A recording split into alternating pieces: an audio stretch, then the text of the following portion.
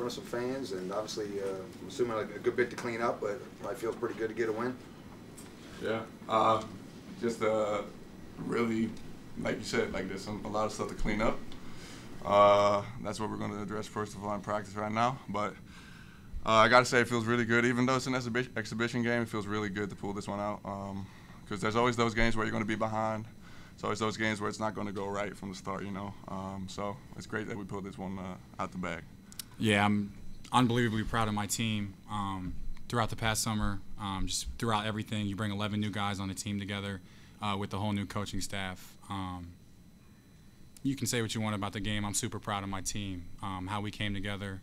Um, you know, it's a good thing to address that. You know, the scare that happened today. You know, Cook is, uh, you know, he's he's all as well. Um, you know, he's admitted overnight, and uh, we're super proud of, uh, you know, just him sticking with us. You know, as resiliency, he's texting us, congratulations, good job on the win. Um, so everything should be good. Um, it's just really freak accident. We're just happy everyone's okay, and uh, you know, I'm proud of my team. Uh, there's stuff to clean up, but uh, I, I, can't stress that enough. Um, I love everyone in the locker room, and uh, stuff like this brings us close together. Uh, George Mason was a great team. We shot the ball really well, made a lot of tough shots, and uh, you know, it, the game would have done nothing for me if we would have played uh, someone and beat them by 40. Um,